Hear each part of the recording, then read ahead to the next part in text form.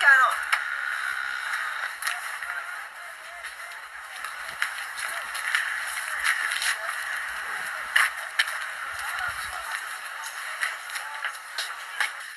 What? Apparently it's been going on for weeks behind Syed's back. But Ben is only 16. 15. Oh, that dirty, disgusting monster. Sicko! Sicko. I told you you were spending too much time with Ben. I was trying to help him, give him some support because his dad wasn't. Right, I'm calling the police. What for? I can handle Phil Mitch. Phil, leave it! Where is Ben? He touched my boy! Holy Caesar, they do it! Okay, you son! What's happening out there?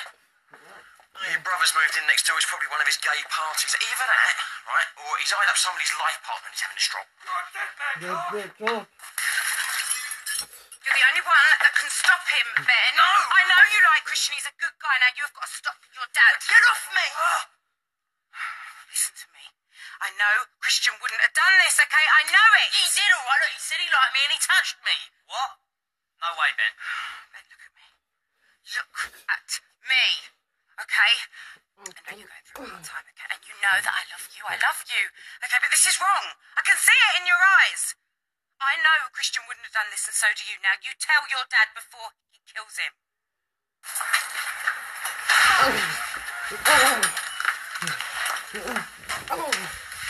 This is too much. It wasn't meant to go this far. You thought Phil Mitchell would forgive and forget. What if Syed gets hurt? What have you done?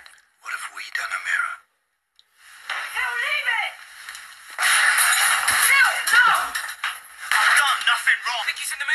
sense.